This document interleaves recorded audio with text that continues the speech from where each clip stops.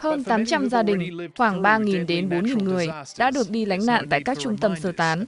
Cơ quan chức năng địa phương vẫn đang tiếp tục sơ tán người dân, phần lớn là những người sống tại khu vực ven biển và những nơi thấp hơn mực nước biển.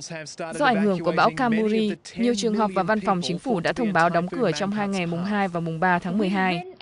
Theo ban tổ chức SEA Games 30, cơ quan chức năng Philippines đã đưa ra nhiều kế hoạch ứng phó với bão, như có thể hủy các trận thi đấu ngoài trời đã được lên lịch diễn ra tại đảo Luzon, miền Bắc Philippines.